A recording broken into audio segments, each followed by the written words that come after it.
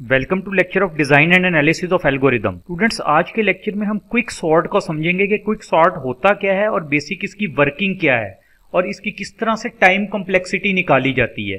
तो बेसिकली तो हमें पहले ये पता होना चाहिए कि क्विक सॉर्ट काम किस तरह से करता है। Quick sort is also divide and conquer approach like merge sort जिस तरह हम पढ़ चुके हैं पहले मर्ज सॉर्ट के बारे में तो क्विक सॉर्ट भी उसी तरह से डिवाइड एंड कंकर अप्रोच है। यानी हम कोई एलिमेंट्स होते हैं, किसी अरे में हमारे पास होंगे, हम उसको डिवाइड करेंगे और उनको अलहदा अलहदा सॉल्व करेंगे एंड पे फिर उनको कंबाइन कर देंगे। We will take first element as a pivot second element as pointer P and last element as pointer Q किस तरह से लेंगे, इसको हम एक एग्ज़ाम्पल से समझते हैं। देखिए, ये आपके सामने एक अरे है। अगर हम कहें कि हमने इसके ऊपर क्विक सॉर्ट इंप्लीमेंट करना है तो आपको पता है कि सॉर्टिंग में तो ये तरतीब से आ जाएँगे जिस तरह ये 40, 55, 20 है एक सीक्वेंस के साथ आ जाएँगे वो सारे हमारे पास नंबर हम कहेंगे सॉर्ट हो गया। लेकिन होगा किस तरह से? यानी कि क्विक सॉर्ट किस अप्रोच के तहत उसको जो है वो सॉर्टिंग करेगी लिस्ट को? हम बेसिकली वो अप्रोच देखना चाह रहे हैं ताकि फिर हम उसका एनालिसिस कर सकें कि उसका टाइम एनालिसिस किस तरह से हो सकता है। देखिए हम इसमें कह चुके हैं कि हमारे पास क्या है? पहला एलिमेंट पाइवट होगा। यानी ये जो हमारा अबव केस आपको एक अरे नज़र आ रही है, इसके अंदर 40 40 हमारी पाइवट वैल्यू हो जाएगी. उसके बाद पॉइंटर पी 55 यानी यहाँ पे देखें, ऊपर टॉप पे जहाँ पे मेरा कर्सर है, हमने लिखा second element as a pointer P second element 55 है, हमने कहा 55 पॉइंटर पी होगा. और उसके बाद हमने कहा कि last element as a pointer Q last element तो हमारे पास 50 है, यानी 50 हमारे पास क्यू हो जाएगा. अब होगा क्या? ये जो P है हमारे पास इसने हमेशा right hand side right side पे मूव करना है यानी P 55 है तो 20, 30, 80 इस तरह से मूव करेगा। और जो हमारे पास Q है Q हमेशा लेफ़्ट हैंड साइड पे मूव करेगा यानी 95, 20 और 80 तो ये कुछ इस तरह से हो जाएगा कि 55 हमने कहा 55 पे P होगा 40 पाइवेट है और हमारे पास जो 50 है यहाँ पे Q होगा। अब इसका ये हम इस तरह से करते क्यों हैं? पी ने राइट हैंड साइड मूव करते जाना है क्यू ने लेफ़्ट हैंड साइड मूव करते जाना है। अब देखिए क्वेश्चन हमारे जहन में आता है कि हम 20 पे गए, आगे मूव करते जाएँगे और वहाँ तक हम मूव करेंगे जब तक हमें इससे बड़ी वैल्यू नहीं मिल जाएगी। चलिए, अभी बड़ी वैल्यू की बात नहीं करते अभी हम कह रहे हैं हम आगे इसको मूव करते रहेंगे। यानी 50 के बाद आगे भी तो कहीं जाएगा 50 के बाद तो कोई चीज़ नहीं है, हम इसके आगे ना इन्फिनिटी ऐड कर देंगे। इन्फिनिटी ऐड करने का मतलब होगा कि हमारे पास कोई भी इधर गार्बेज वैल्यू आ जाएगी हमने उसको रोकना भी तो है एल्गोरिदम को ये उसका एंडिंग पॉइंट होगा। इसी तरह आप जब देखेंगे कि क्यू जब अपने आप को कंपेयर कर रहा है 95, 25 चलता जा रहा है तो इसके बाद 40 के बाद भी तो फिर आपके जहन में आ रहा होगा कोई इन्फिनिटी होना चाहिए। तो यहाँ पे इन्फिनिटी नहीं होगा। रीजन क्या है? रीजन मैं अभी आपको बताता हूँ। यहाँ पे आपको मैं रीजन बताऊँगा इसकी क्या है। आप देखें लिखा है P will stop when it find element greater than pivot P उस वक्त रुकेगा जब इसको ग्रेटर देन पाइवट एलिमेंट मिल जाएगा। और Q will stop when find the element less than the pivot Q उस वक्त रुकेगा जब इसको एलिमेंट लेस देन पाइवट मिलेगा। अब देखें, जो मैंने यहाँ पे इन्फिनिटी की बात की ना इन्फिनिटी का मतलब है P ने ग्रेटर एलिमेंट फाइंड करते जाना है। यानी चलता जाएगा ग्रेटर एलिमेंट 50 शायद उसके जेन में हो 50 से आगे भी कोई ग्रेटर हो। तो इसलिए हमें इन्फिनिटी ऐड कर दिया कि जब पी यहाँ पे पहुंचेगा तो उसको पता लग जाएगा, अब आगे मैंने स्कैन नहीं करना, अब खत्म हो गया। अब ये जो क्यू है ना क्यू आप कह ले हम कहना चाह रहे हैं कि लेस देन या equal to less than equal to किससे हो? हमारे पाइवट से। देखें हमारे केस में पाइवट 40 है। अब ये चेक करता जाएगा कि यानी 40 से कम होनी चाहिए वैल्यू या इक्वल चेक करता जाएगा 95, 25, 80, 30, 20, 55 एक टाइम आएगा जब वो 40 पे पहुंचेगा।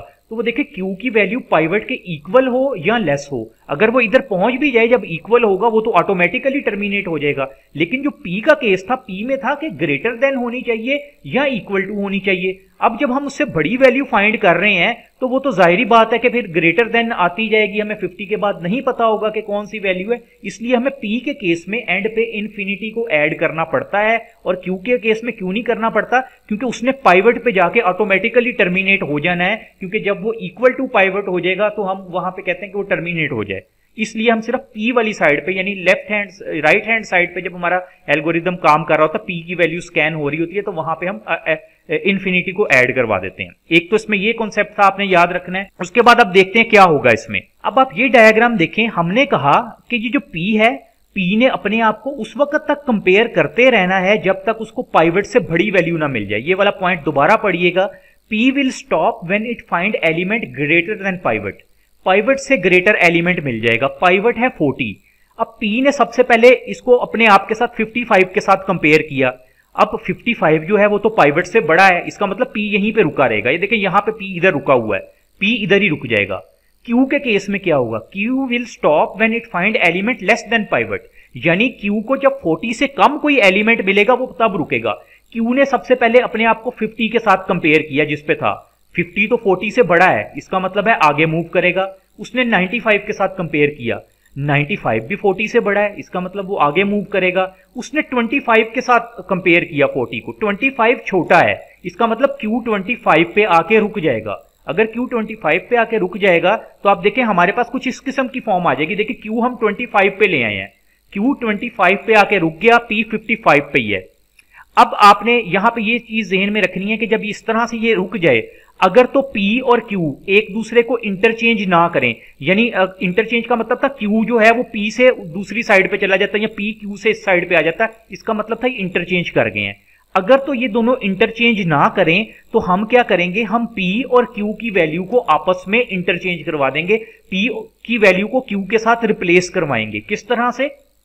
ये देखें, यहाँ पे पहले पढ़े, यहाँ पे लिखा है interchange value of P and Q हमने क्या किया? P पे 55 था। देखिए, इस वाले 55 को हम Q पे ले गए और Q पे क्या था? 25 था। इस 25 को हम P के ऊपर ले गए यानी हमने जो P और Q की वैल्यू पड़ी हुई थी, उसको चेंज कर दिया। एक्सचेंज कर दिया, आपस में इंटरचेंज कर दिया। इंटरचेंज याद रखना, उसी वक्त हम करेंगे इस तरह से इंटरचेंज जब ये दोनों P और Q एक दूसरे तक नहीं पहुँचेंगे, यानी एक दूसरे को क्रॉस नहीं इन्होंने किया होगा। क्रॉस करने का मतलब ये है कि P जो है वो Q से आगे चला जाए। अभी तक ये आगे नहीं गया, या Q क्रॉस करता करता P से अगली साइड पे चला जाए। तो जब तक वो नहीं करेगा, उस वक्त तक हम इसको ऐसे ही इंटरचेंज करेंगे। तो ये हमने केस देख लिया इंटरचेंज हो गया यहाँ तक। अब क्या होगा इसके बाद? देखें, ये हमारा लास्ट पे जो केस अभी हमने देखा था, उसी को यहाँ पे दोबारा ड्रा कर दिया। अब फिर दोबारा वही काम होगा। पी अपने आप को दोबारा कंपेयर करना शुरू करेगा, उस वक्त तक कंपेयर करता रहेगा जब तक इसको पाइवट से बड़ा एलिमेंट नहीं मिल जाता। पी ने 25 के साथ कंपेयर किया, यानी पी पे 25 है 25 तो पाइवट से छोटा है पी मूव करेगा अगले एलिमेंट पे, यानी 20 पे आ गया। अब पी ने देखा 20 को 40 के साथ कंपेयर करवाया 20 भी 40 से छोटा है, आगे मूव कर जाएगा। उसने उसको 30 के साथ कंपेयर करवाया 30 भी 40 से, यानी 30 भी पाइवट से छोटा है पी फिर क्या करेगा? 80 पे चला जाएगा। जब उसने 80 को कंपेयर करवाया, उसने देखा ये जो 80 है, ये तो पाइवट से बड़ा है तो वो यहाँ पे रुक जाएगा। यानी 80 पे जाके वो रुक जाएगा। ये देखें पी जो है, हमने क्या किया? 80 पे जाके रुक गया। दूसरी साइड पे क्या हो रहा था? क्यू था। क्यू हमारा 55 पे था। क्यू ने अपने आप को क्यू ने कब तक कंपेयर करवाना है? जब तक क्यू को पाइवट से छोटी वैल्यू नहीं मिल जाती। क्यू को यहाँ पे क्यू ने 55 के साथ कंपेयर करवाया। 55 तो 40 से बड़ा है। क्यू आगे मूव किया, यानी 80 पे मूव किया। क्यू ने देखा कि 80 जो है 80 भी 40 से बड़ा है तो इसका मतलब नहीं स्टॉप करेगा अभी। फिर क्यू अगली वैल्यू पे गया? अगली वैल्यू पे उसको मिला 30 30 जो है, वो तो 40 से छोटा है। इसका मतलब क्यू जो है, वो 30 पे आके रुक जाएगा। ये देखें क्यू जो है, वो तो 30 पे आके रुक गया, और पी जो था, वो अब 80 पे रुका हुआ है। आप यहाँ पे देखें क्यू और पी एक दूसरे को इंटरचेंज कर चुके हैं। यानी जो हमारे पास स्टार्ट ये हुआ था ना पी इस साइड पे था यानी आपके, यानी पी हमारी जो था वो राइट साइड पे जा रहा था और क्यू इस साइड पे आ रहा था। मैंने यहाँ पे रफ सा ड्रा कर दिया पी क्यू इस साइड पे आ रहा था पी इस साइड पे। अगर आप यहाँ पे देखेंगे दोनों इंटरचेंज कर चुके हैं, यानी पी क्यू से आगे निकल गया है और क्यू उससे पहले आ गया है। इसको कहते हैं दोनों पी और क्यू पॉइंटर एक दूसरे को इंटरचेंज कर गए हैं।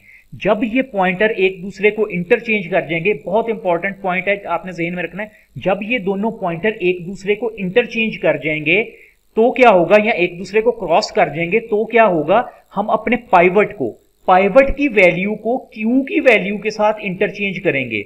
पाइवट की वैल्यू है 40 क्यू की वैल्यू है 30 यानी ये 30 और 40 आपस में इंटरचेंज कर जाएँगे। ये देखें, यहाँ पे लिखा है when P and Q cross each other replace pivot with Q pivot पे 40 था। ये देखिए इस 40 को उठा के हम जहाँ पे क्यू था, उधर ले गए, और जहाँ पे हमारे पास 30 था क्यू पे उसको हम उठा के यहाँ पे ले आए। बाकी जो हमारे पास अरे है, वो उसी तरह रहेगी। यहाँ तक तो हो गया क्लियर अब इसके बाद देखते हैं आगे क्या होगा। आप देखिए पाइवट अब यहाँ पे आ चुका है 40 पे हमारे पास। आप 40 से पहले जो एलिमेंट देख रहे हैं, वो सारे अब छोटे एलिमेंट हैं। 40 के बाद सारे एलिमेंट हमारे पास बड़े एलिमेंट हैं। इसका क्या मतलब था कि जब हमने कहा था कि पी जो है, वो क्या करेगा? अपने से बड़े एलिमेंट पे जाके रुकेगा। यानी वो देखेगा कि पाइवट से बड़ा जो एलिमेंट हुआ, वहाँ पे रुकेगा। और क्यू क्या कर रहा था? क्यू देख रहा था कि पाइवट से छोटा एलिमेंट जो होगा, मैंने वहाँ पे आके रुकना है। तो इसलिए देखें, एक साइड पे छोटे एलिमेंट आगे, एक साइड पे सारे बड़े आगे, दरमियान में फोर्टी है। अभी भी हमारी ये जो हमारे पास अरे है, ये सॉर्ट नहीं हुई। हमारा एक साइकिल ज़रूर कंप्लीट हो गया है। अब क्या होगा? हम जिसे जिस तरह कहा, ये तो डिवाइड एंड कंकर अप्रोच है। अब आप देखें, हमारे पास दो हिस्से बन गए हैं। एक तरफ़ ये तीन एलिमेंट है दूसरी तरफ़ ये चार एलिमेंट है। दरमियान में पाइवट है हमारे पास। अब हम क्या करेंगे?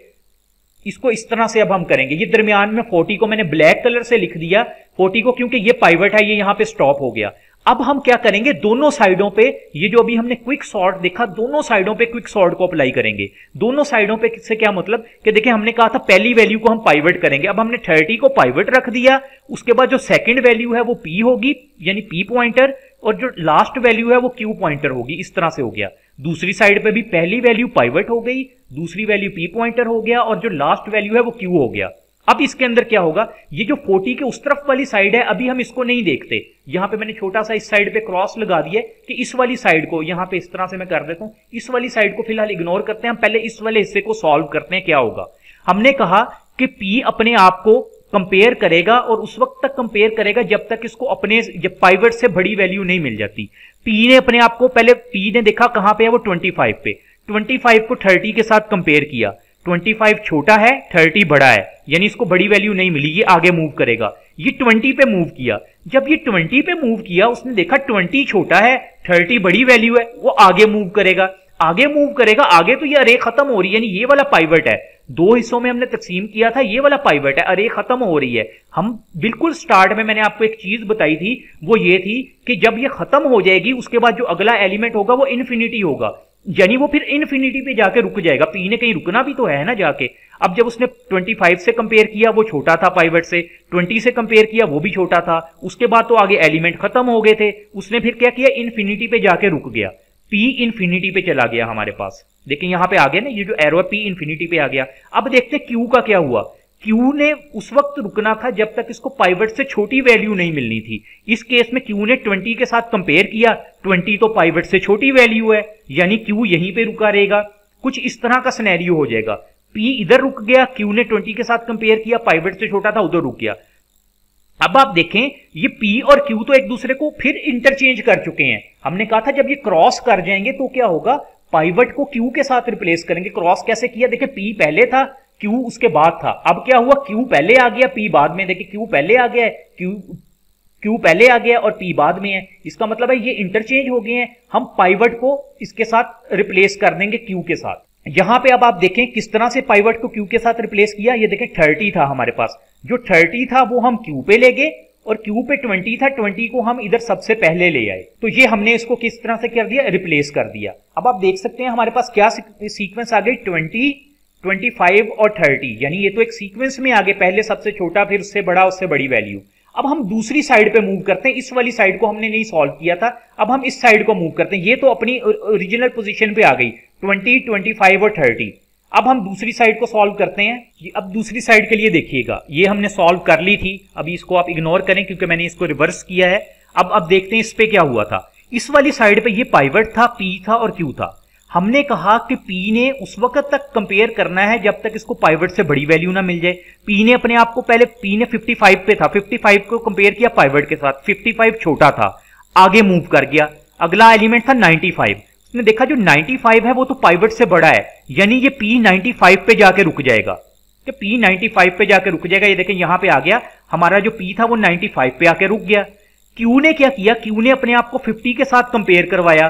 क्यू ने उस वक्त रुकना था जब इसको पाइवट से कम वैल्यू मिलेगी? पी ने 50 50 के साथ देखा कि क्यू पे 50 है और पाइवट तो 80 है। यानी 50 जो है, वो तो 80 से कम है। क्यू यहीं पे रुका रहा? अब हमने क्या कहा था? हमने कहा था जब एक साइकिल कंप्लीट होगा पी और क्यू ने अगर इंटरचेंज ना किया हो तो इनकी वैल्यू आपस में एक्सचेंज होगी। एक्सचेंज का मतलब क्या कि 50 जो है वो अब इधर आ जाएगा और 95 जो है वो इस साइड पे चला जाएगा। अब ये देखें, निचले केस में 50 इधर आ गया 95 उधर चला गया, नीचे P और Q उसी तरह लिखा हुआ है। अब क्या होगा? P दोबारा कंपेयर करेगा। P ने अपने आप को 50 के साथ कंपेयर किया। 50 जो है वो तो 80 से कम है। इसका मतलब आगे मूव करेगा। P आगे मूव किया, आगे उसको मिला 95 95 जो है, वो तो 80 से बड़ा है, यानी P 95 के ऊपर जाके रुक जाएगा। दूसरी साइड पे Q ने अपने आप को 95 के साथ कंपेयर किया, यानी Q पे 95 था 95 ने 80 के साथ देखा कंपेयर किया 95 तो 80 से बड़ा है, इसका मतलब Q आगे मूव करेगा। अगला एलिमेंट है 50 Q ने जब 50 पे गया, उसने देखा 50 जो है वो कम है और 80 ज़्यादा है। हमने तो यही कहा हुआ है कि Q ने वहाँ पे रुकना है जहाँ पे पाइवट से कम वैल्यू हो। तो इसका मतलब Q जो है वो 50 पे आ जाएगा। यानी Q 50 पे आ जाएगा और P 95 पे चला जाएगा। देखें, यहाँ पे हमारे पास Q जो है वो 50 पे आ गया, P 95 पे चला गया। अब इसके बाद आगे क्या होगा? यहाँ पे देखें, ये वही चीज़ आगे लिख दी कि P हमारे पास 95 पे है और Q हमारे पास 50 पे है। अब लास्ट स्टेप में क्या होगा? देखें, अब P ने तो आगे कंपेयर करना है। P के आगे तो कुछ भी नहीं है। यानी P ने देखा कि मैं जो है 95 है और पाइवट 80 है। यानी उससे उसको जो है वो बड़ी वैल्यू मिल गई है, यहाँ पे रुका हुआ है। अब उसने अगले स्टेप में क्या करना है? अगली वैल्यू से कंपेयर करना है। आगे तो कुछ भी नहीं है। आगे तो इन्फिनिटी होगा। हमने कहा था पी के लिए जिस वैल्यू ने राइट हैंड साइड पे मूव करना है, वहाँ पे इन्फिनिटी होगा। यानी ये यहाँ पे टर्मिनेट हो जाएगा, खत्म हो जाएगा। इसी तरह जब क्यू ने कंपेयर किया क्यू कहाँ पे रुका हुआ है इस वक्त? क्यू इस वक्त यहाँ पे रुका हुआ है फिफ्टी पे। ये हमारे पास केस है एक। अब देखें, अगर मैं आपको पहले वाली डायग्राम दिखाऊँ, यहाँ पे देखें। ये तो फिर इंटरचेंज कर चुके हैं। पी और क्यू ने तो एक दूसरे को इंटरचेंज कर लिया था। इंटरचेंज से मुराद कि पी आगे चला गया था क्यू उससे पीछे था। अब इंटरचेंज कर लिया था तो हमने कहा था कि जब भी इंटरचेंज होगा, हमारा जो पाइवट है, हमारा जो पाइवट है, वो क्यू के साथ इंटरचेंज कर जाएगा। पाइवट वैल्यू और क्यू की वैल्यू आपस में इंटरचेंज कर जाएगी, कब? जब पी पॉइंटर और क्यू पॉइंटर एक दूसरे को क्रॉस करेंगे। तो यहाँ पे देखें, वही चीज़ हुई कि क्यू जो था 50 जो था, वो यहाँ पे आ गया, और जो पाइवट की वैल्यू थी 80 वो यहाँ पे आ गया। इधर अब आप इस चीज़ को देख सकते हैं कि आपके सामने इस वक्त पूरी जो है वो सॉर्टेड फॉर्म के अंदर अरे है यानी 20, 25, 30, फिर 40, 50, 55, 80 और 95 ये हमने इसको सॉर्ट कर लिया बेसिकली अब ये होता है हमारे क्विक सॉर्ट की वर्किंग के इस तरह से क्विक सॉर्ट जो है वो सॉर्टिंग कर रहा होता है। ये जो इनफाइनाइट मैंने आपको लिखा हुआ है ना यहाँ पे, ये आपको समझाने के लिए लिखा है। बेशक इसको आप ऐड ना करें इसके अंदर, क्योंकि ये आपको सिर्फ़ समझाना इसका मकसद था कि इसने टर्मिनेट कहाँ पे होना है एल्गोरिदम को पता कैसे लगेगा। तो आप देखें, ये जो हमारी अरे है, ये पूरी जो है वो सॉर्टेड अरे हो गई। किस तरह से सॉर्ट हुई? क्विक क्विक सॉर्ट के थ्रू हुई। अगर हम इसकी इक्वेशन लिखें, यानी इसका रिकर्सिव इक्वेशन लिखें तो वो कुछ इस तरह की बन रही है। यानी मैं कहूँगा टी ऑफ़ एन कितना इसको टाइम लगा? आप देखें, हमने क्या किया? इसको दो पार्ट्स में डिवाइड किया था। N by two plus n by two plus n ये वाली इक्वेशन वही इक्वेशन है जो कि हम पहले लिखी थी मर्ज सॉर्ट में हमने ये इक्वेशन बनाई थी। इस इक्वेशन का मतलब क्या है? देखिएगा, अब मैं यहाँ पे आपको बताता हूँ। ये देखें, यहाँ पे टॉप पे हमने क्या किया? एक अरे थी हमारे पास, हमने इसको दो पार्ट में डिवाइड कर लिया था। थ्री एलिमेंट इस तरफ़ आगे थे और थ्री एलिमेंट इस तरफ़ आगे थे। यानी एन बाय टू और एन बाय टू हो गया था। यहाँ आप कह लें एक तरफ़ एन बाय टू था, एक तरफ़ n by two minus one था कि एक एलिमेंट ज़्यादा हो जाता है, जिसको फिर हम एन माइनस वन से शो कर देते हैं। तो ये हो गया था। यानी ये जो हमने लिखा है ना एन बाय टू और एन बाय टू आपको नज़र आ रहा है, ये ये कि हमने उसको डिवाइड किया था। प्लस एन प्लस एन का क्या मतलब है? वो जो हमारे पास अरे थी, उसका साइज़ एन था। यानी टोटल हमें फ़र्स्ट साइकिल अगर आपको याद हो मैं आपको दोबारा से दिखा देता हूँ, ये हमारा फ़र्स्ट साइकिल था, जहाँ पे हमारा पाइवट यहाँ पे आया था। यहाँ पे पाइवट 40 से स्टार्ट किया था। फ़र्स्ट साइकिल में देखें, हमने 25 से स्कैनिंग शुरू की थी और यहाँ पे 50 से स्कैनिंग शुरू की थी। यानी फ़र्स्ट साइकिल के अंदर हमने पूरी एन अरे को स्कैन किया था, फिर हम यहाँ पे पहुँचे थे कि हमारा पाइवट 40 यहाँ पे आके लाई करेगा। तो इसलिए वो एन था, हमने एन पूरी अरे को स्कैन किया था। तो यहाँ पे जो आपके सामने एन लिखा हुआ है ना, ये वो वाला एन है। ये हमारे पास इक्वेशन बन गई n by two plus n by two plus n आपको पता है कि अगर इस इक्वेशन को ये एक रिकर्सिव रिलेशन है, इसको सॉल्व करें तो हमारे पास जो कंप्लेक्सिटी है, वो तो आती है एन लॉग एन कैसे आती है, हमने कैलकुलेट किया था। आप मच सॉर्ट वाली वीडियो अभी भी देख सकते हैं। उस वीडियो में हमने कैलकुलेट किया था कि ये n log n time complexity कैसे बनती है। ये तो क्विक सॉर्ट का एवरेज केस है। अब वर्स्ट केस के अंदर इसकी क्या कम्प्लेक्सिटी आएगी? वर्स्ट केस वाली कम्प्लेक्सिटी हम अपने आने वाले लेक्चर में देखेंगे। अगर आपको इस लेक्चर में कोई कंफ्यूजन कोई क्यूरी है तो आप मेरे से पूछ सकते हैं कमेंट सेक्शन में भी आप क्वेश्चन कर सकते हैं। और अगर आपने इस चैनल को सब्सक्राइब नहीं किया तो इसे ज़रूर सब्सक्राइब करें, ताकि जब कोई नई वीडियो अपलोड हो तो आपको फ़ौरन उसका नोटिफिकेशन मिल जाया करे। Thank you very much